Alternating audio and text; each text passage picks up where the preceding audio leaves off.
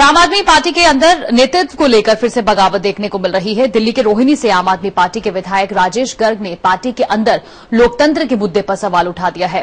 Party संयोजक अरविंद केजरीवाल को Facebook पर लिखी खुली चिट्ठी में गर्ग ने कहा है कि क्या केजरीवाल को दिल्ली में दोबारा चुनाव कराने के मसले पर लोगों से राय नहीं लेनी चाहिए थी।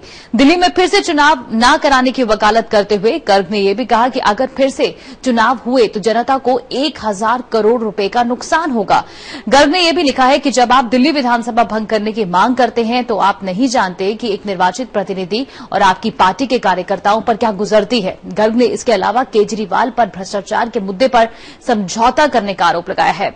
आपको बता दें कि गर्ग का केजरीवाल का मुखर समर्थक माना जाता है और अब एक बार फिर से आप में बगावत देखने को मिल रही है और यहाँ पर कहना है, विधायक राजेश गर्ग ने गर्ग का कि अगर आने वाले दिनों में चुनाव होते हैं, इस बात को लेकर क्या केजरीवाल को आम जनता से नहीं पूछना चाहिए? केजरीवाल के नाम फेसबुक पर लिखी एक खुली चिट्ठी में राजेश गर्ग ने सवाल उठा दिया है। और आइए अब आपको दिखाते हैं केजरीवाल के नाम फेसबुक पर लिखी खुली चिट्ठी में राजेश गर्ग ने कौन कौन से मुद्दे उठाए हैं। आदरणीय अरविंद केजरीवाल जी, वंदे मातरम। आप सच को स्वीकारें और पार्टी में पैसे वालों व भ्रष्ट लोगों को बढ़ावा देना बंद करें।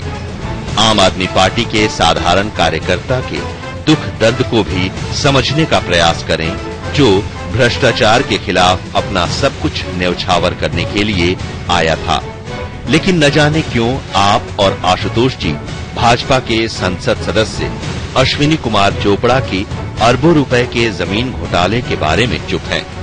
आप दिल्ली में बार बार विधानसभा भंग करने की जब मांग करते हैं तो कार्यकर्ताओं पर, जनता पर और चुने हुए सभी दलों के विधायकों पर क्या क्या गुजरती है?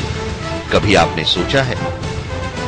स्वराज नीति के अंतर्गत यदि आप दिल्ली में चुनाव हो या नहीं, इस बारे में कोई निर्णय लेने से पहले जनता के बीच रायशुमारी करा लेते तो मतदाताओं में ज़्यादा अच्छा संदेश जाता। बाकी आपकी मर्ज़ी। हर समय जनता के बीच रहता हूँ और जनता की भावना से आपको अवगत कराना मेरा फ़र्ज़ था, जो कि हिम्मत करके मैंने पूरा कर दिया है। यदि यही हिम्मत 14 फरवरी 2014 को विधानसभा सत्र के दौरान कर ली होती तो आज हम दिल्ली की जनता की सेवा कर रहे होते, क्योंकि सरकार न होने की वजह से कुछ भी नहीं कर पा रहे हैं। दिल्ली में सरकार बननी चाहिए, चाहे किसी की बने। हम देशभक्त के रूप में ईमानदारी से सेवा करने आए थे, न कि सत्ता के लिए राजनीति करने आए थे। आज हमें दिल्ली की जनता को चुनाव की स्थिति से बाहर निकालकर एक हज़ार करोड़ रुपयों के आर्थिक बोझ से बचाने के बारे में सोचना चाहिए, न कि बार बार चुनाव कराने की जिद पर अड़ना चाहिए। क्या हम विपक्ष में बैठकर अच्छा काम नहीं कर सकते?